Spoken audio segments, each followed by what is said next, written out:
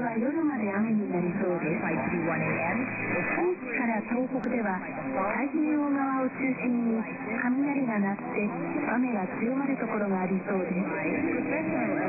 台風19号で堤防が決壊したり、街の排水機能がまだ回復していないところでは、少ない雨でも災害が発生する恐れがあります。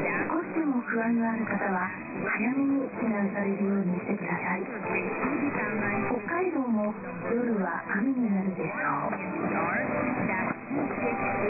最高気温は平年並みか平年よりも高くなりそうです。那覇と鹿児島は27度、高知は25度と夏日になるでしょう。福岡は23度、松山と広島は24度と昨日よりも5度くらい高くなりそうです。大阪23度、名古屋は22度と昨日と同じくらいでしょう。東京は20度、仙台は18度と平年並み、新潟、秋田は18度と昨日より5度くらい低くなるでしょう。